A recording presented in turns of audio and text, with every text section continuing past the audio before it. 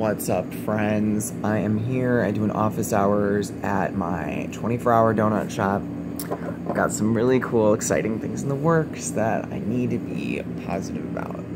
Because whatever stabilization we're gonna need moving forward, we cannot let shit just fucking tankify people's health like it's going on with the trans fats. Alright, so on this battlefront, I'm at the Pennsylvania Attorney General's office uh, website. I just want to show my fellow consumers that this is not that hard. Um, we're we're um, reporting that Martin's Chips has supplied two vendors with fraudulent nutrition facts labels, and here's like um,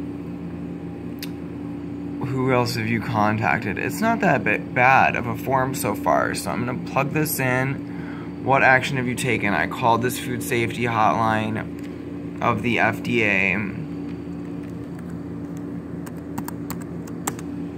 And they really didn't, they got back to me, but they just told me to call another office, so I was kind of getting some runaround rigmarole past the buck stuff going on, and this should be more direct the law enforcement officers at the attorney general's offices. So, um, so these two online vendors were supplied with nutrition facts labels that say zero trans fats. Ultimately, I want what the FDA said they wanted. It's like, what would you like the business to do to settle this complaint? Just phase out trans fats. And they should be forced to publicly disclose the non-safe status of their products if they're going to continue to try to sell them without um, flipping any FDA enforcement. Who knows?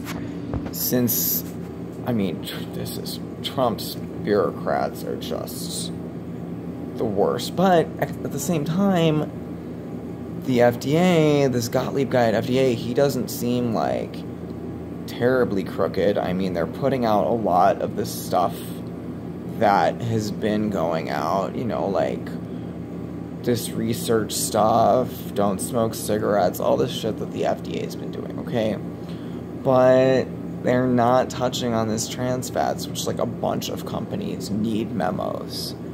So really, um, this is I, I see that several state attorney generals could be leaders on this, like they've been leaders on uh, healthcare, Medicaid expansion, and stuff like that um, Attorney General of Pennsylvania happens to be like this this nice Jewish guy who's a Democrat, which is pretty cool. So we may have some like uh, some alright uh, ability to stabilize the problems of the um, trans fats over there in Pennsylvania.